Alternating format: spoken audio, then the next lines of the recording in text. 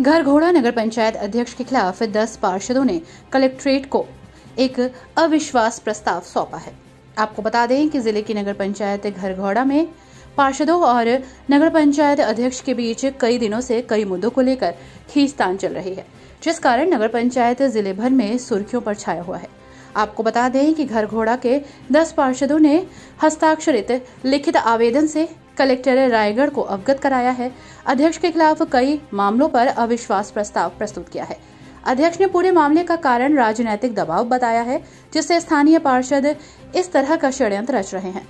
अध्यक्ष का कहना है कि कार्यकाल में जितने काम हुए, उन कामों की कांग्रेस विधायक ने प्रशंसा ही की है। फिर मेरे खिलाफ अविश्वास प्रस्ताव कांग्रेस पार्षदों द्वारा कलेक्ट्रेट को सौंपा गया है, जो कि बिल्कुल निराधार और गलत है। और तो कहीं ना कहीं राजनीतिक दबाव तो है ना?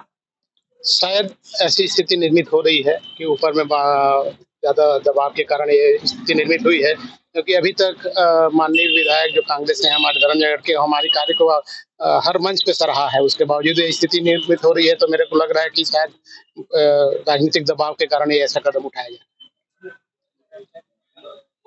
प्रस्ताव पारित हो रहा है। क्या है? अभी आवेदन दिए हैं कांग्रेस के दस आठ पार्षद दो निर्दलीय मिलकर आवेदन दिए हैं। बारह तारीख को जमा किए, तेरह तारीख को यहाँ पे जमा हुआ था। आज नगर पंचायत में लेटर पहुँचा है। इनने मेरे पे आरोप लगाया कि मैंने अपने अधिकार का दुरुपयोग करते हुए पीआईसी और परिषद का बैठक बुलाया जबकि आरोप लगाने वाला उपाध्यक्ष भी हर परिषद में और संबंधित पार्षद हर बैठक में उपस्थित थे।